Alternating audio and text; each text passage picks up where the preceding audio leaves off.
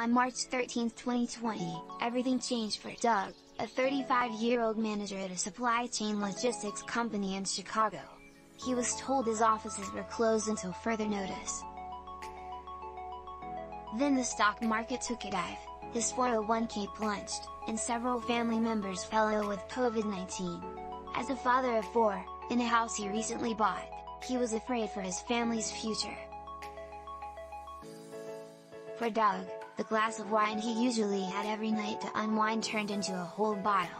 My alcohol consumption turned into a 7-day affair, he says. He'd usually top it off with some THC-infused gummies.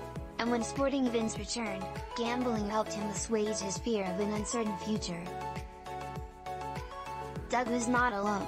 As stay-at-home orders swept across the country in March 2020, Americans got high, got drunk, and turned to porn in order to cope with the many fears and anxieties that were symptomatic of the pandemic.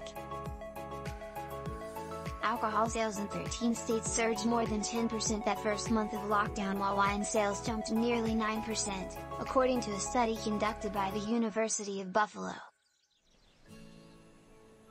The number of cigarettes sold in the U.S. also increased in 2020, the first time in 20 years, according to the Federal Trade Commission's cigarette report.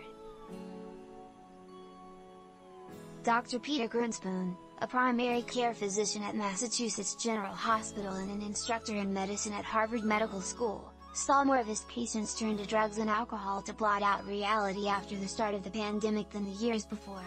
In a perfect world, when under STR. You don't have to be a rocket scientist to understand that while people are home, bored and lonely they are going to drink and get high. As the pandemic took an unimaginable toll on thousands of lives a day and brought the global economy to a standstill, it also helped legitimize the legal marijuana.